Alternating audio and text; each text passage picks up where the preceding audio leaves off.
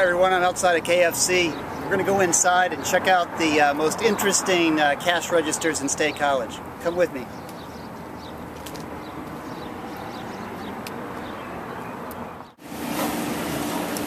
Is this for here to go? This is for here.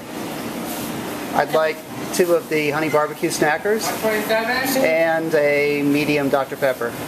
Two buffalo snack barbecue snackers. Yes, And what else did you say? a medium drink. Medium drink. Is there anything else you'd like? That's it. There is a deal. Listen for it. You got a deal. Your order is $3.68. Make it $5 and get a large coleslaw or popcorn chicken. Which would you like? I'll take the small popcorn chicken. All right. That will make it five dollars. Anything else? That's it. All right, five dollars.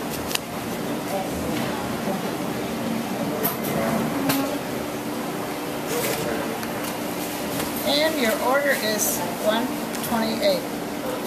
Thank you. Thank you. I'm back in the office after our trip to uh, Kentucky Fried Chicken. Receipt in hand. Uh, what you can see here is that uh, I bought two of the barbecue snackers. Each of those cost uh, 99 cents. Got a medium drink, $1.49.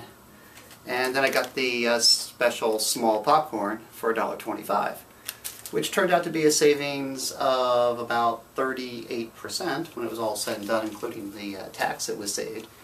And that's what I want to point out here is why would any company, um, after you've already ordered, offer you a, a deal?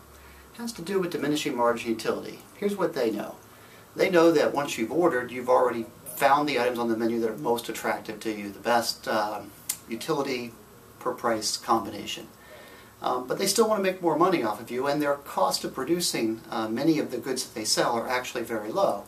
So when they spin the wheel and it comes up coleslaw or small popcorn uh, chicken, uh, the customer has the opportunity to choose again at a discount. Why a discount? Because it's the only way you're going to buy more because you're going to fill up on what you've already bought. So any extra food that you might get isn't going to be as valuable to you.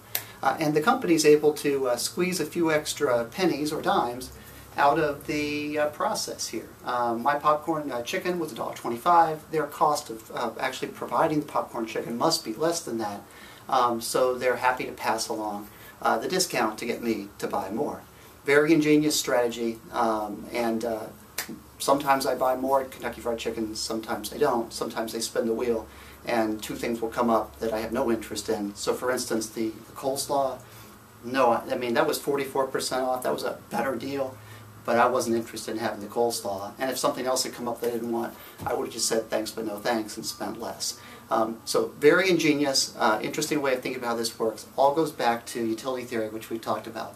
And I hope this has been helpful in, in helping you understand this concept. Take care.